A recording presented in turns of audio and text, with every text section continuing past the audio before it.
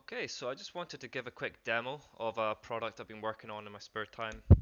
And it's a note-taking application which merges PDF reading capability, annotating, mind mapping into one app. So you don't have to go use OneNote and then import your PDFs and then you've lost your PDF document. And you know, you, I, for me personally, I like to link my notes to a PDF um, or at least mind map from a PDF. And now I've got the capability to do it all in one app. Um, anything you make on the PC can be imported onto a mobile app as well. So if you have an exam or something and you want to keep your notes with you, you can view your notes on the app and um, yeah, there's no annotating ability on that. But this is all developed for me really, but if there's interest, I'm happy to release it. Uh, it's very minimal, there are no menus. This is the biggest menu you get, uh, the ability to clear brushes. Um, we have split screen functionality here. It is made in the Unity game engine purely because I wanted to import it into virtual reality so I could maybe have like a full 360 mind map. Uh, I'd like to experiment with that. And I think I'll just demonstrate some, some of the functionality and just some of the quirky features that uh, might benefit yourself. Um, on a side note, I am using a stylus now, and you can see that Google Chrome has actually updated their PDF reading capabilities to uh, be a little better. Uh, but it's still a lot of applications only allow you to annotate on margins like Adobe Reader or OneNote for example when you need multiple apps but the idea for this one is the contrary. So let's go through um, an example.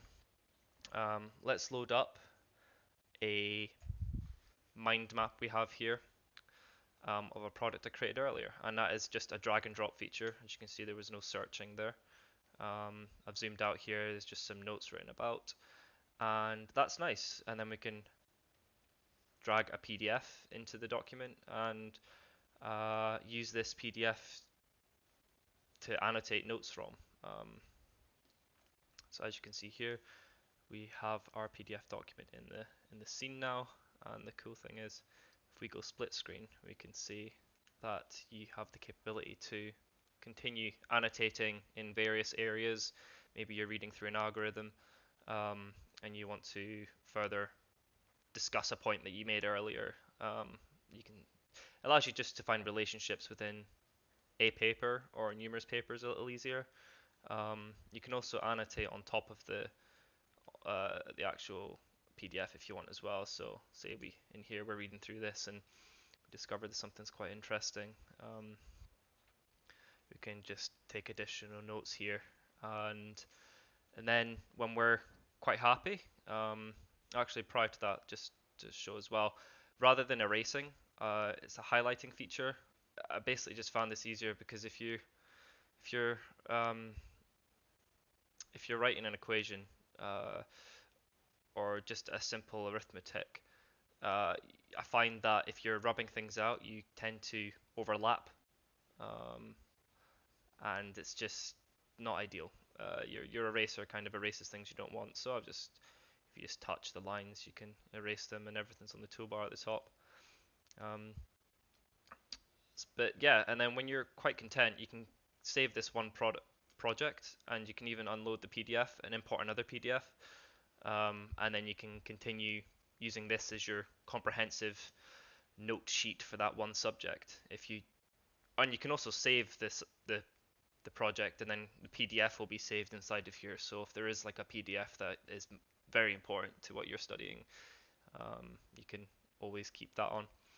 Um, another cool feature is that say we want to combine uh, notes. So here we just have a virtuality lab idea and here we have uh, another graph that we've drawn and that's now imported into these notes. So you can create multiple types of notes and import them into the project, and then you can eventually have one cohesive product um, that you can always go back to and refer to for, for your subjects.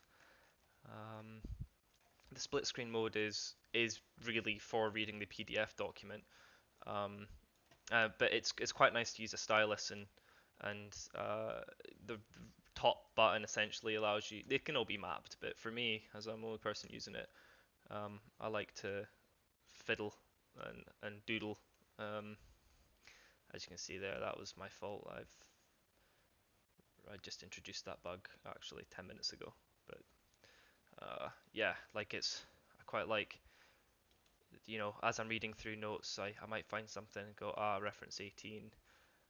Um, or I can go guaranteed error bounds. It's like, oh, there's words I like, and you can actually end up highlighting. It will be, it won't be showing transparent just now, but it is. Um, and yeah, so you can end up highlighting key key things. Um, I tend to just put little marks uh, throughout my notes, and then uh, I go back, and I'm like, ah, yes, this is the point I wanted to touch on this. Um, but yeah, I think that's all I really wanted to show. I didn't want to go on for too long, but it looks like I have. Um, we just clear all the brushes and clear the PDFs. We have a plain project. Um, I'll just load up another product.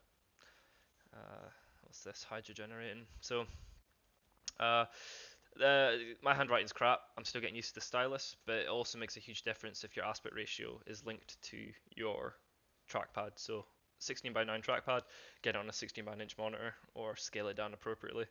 But yeah, I just wanted to demonstrate this. If you're interested, let me know. I'll put a Trello link in the description, which basically shows the features that will be coming.